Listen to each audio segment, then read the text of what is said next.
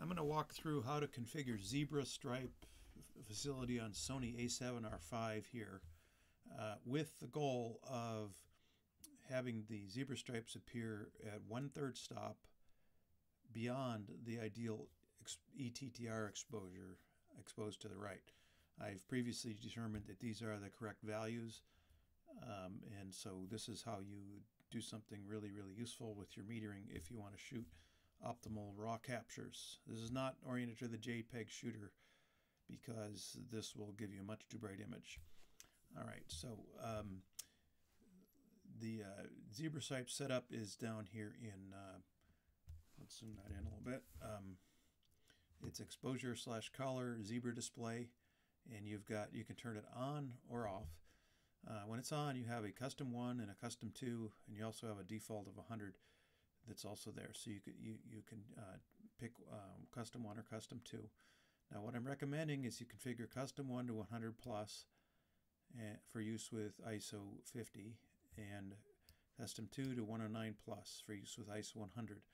There's a reason for this and that these match up to what you need to not blow out at ISO 50 and ISO 100 respectively. But why would you want to use ISO 50 at all? Um, well, there's a very good reason. Um, when we go uh, into actual captures, uh, on the left we have ISO 50, and uh, this is the histogram we're seeing. You see that the image is of a normal brightness, and the histogram is looks very reasonable. On the right we have ISO 100, and the image is um, too bright. It will make it difficult to examine for detail, for starters. And the histogram looks all jammed up, and you'd be scared that you blow your shot if you had this one. But if you look at these, they're both shot at 6 tenths of a second at f6.3, 6 tenths of a second at f6.3. So in the raw file, they're identical, no difference. And so when you process them, you can you'll get the, the same result. However, on the camera, you've got this problem. You've got a camera that shows you this histogram that looks all jammed up and like you toasted the file, image that's too bright. And if you are shooting RAW plus JPEG or you are going to get a bright JPEG and you're not going to like that. So um, my recommendation is to use ISO 50 along with the appropriate Zebra value to get not only the correct exposure but a JPEG you know if it's RAW plus JPEG you get a JPEG and you get a histogram that looks sensible instead of shooting at ISO 100 is here where you get a too bright image in histogram that scares you so identical exposures won't make any difference in RAW, but when you're actually looking at the camera, I'd much rather look at this because that looks like what I want. And it is what I want. I've uh, checked this very carefully and under constant studio lighting, and I'm sure it'll hold up outdoors. Uh, looking at things below, this is what you actually, there's a third reason here, which is this is the live view um, image of the subject as I was photographing it. You can see that the ISO 100 uh, picture is looking pretty darn bright. You, would not want to shoot this. You'd, you'd feel like that at least, even though this is the correct one. And on the left, it's darker. You can evaluate it. Maybe it's maybe it's a little dark, but uh, it's actually the, the last one before blowout. And the reason I say that is because I dialed the exposure compensation to plus 1.7 here, plus 0.7 here, same exposure, 6 tenths at f6.3. So same exposure, but one more click to um, 8 tenths of a second, and this white patch would start to blow. In fact, you can see these little niggles at the edge. That's the first hint of the zebra stripe uh, effect showing on the edges.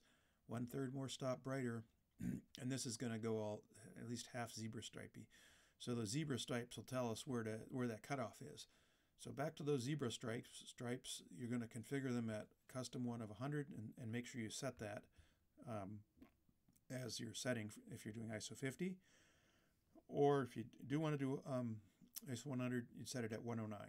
And then you'll get, then when you go down and actually are looking at things here, you'll get the zebra stripes in this patch appropriately at either ISO 50 or ISO 100. Same, they'll behave the same, and I've confirmed this. So these, those are the figures you want, and they'll give you um, perfect exposures. And your working method is very simple. You just um, get your scene set up and you start dialing in positive exposure compensation until the um, sorry until the image you're looking at shows uh, zebra stripes or you know little um, uh, stuff starts to show up in the little white patches. You'll see it in little fine white patches first, and then uh, with one more third stop, it'll come on pretty strong, especially in areas of solid white. And if you do that and then take the picture, you'll get a perfect raw file. Uh, it'll be just perfect. And uh, that's all you have to do to get perfect ETTR. Uh, let's actually go on to that page.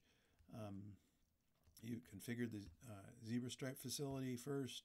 Decide which ISO you want to use. I recommend 50 just because of the JPEG and histogram stuff. And then uh, you're going to validate your work with RawDigger too. So let's take a look at that. Um, uh, and I have a discussion of 50 versus 100. But basically at ISO 50, the, these issues resolve.